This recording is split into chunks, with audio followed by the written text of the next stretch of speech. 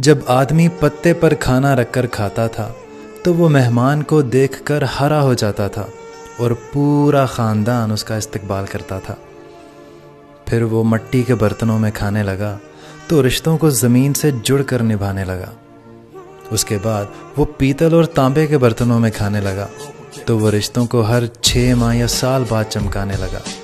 उसके बाद वो कांच के बर्तन इस्तेमाल करने लगा। तो हल्की सी चोट पर भी रिश्ते बिखर जाने लगे। और अब वो डिस्पोजेबल बर्तनों में खाता है। तमाम रिश्ते तब तक, जब तक उनकी ज़रूरत है। जब रिश्ता किसी काम का ना रहे, कोई फ़ायदा ना रहे तो उसे निकाल के फेंक दो।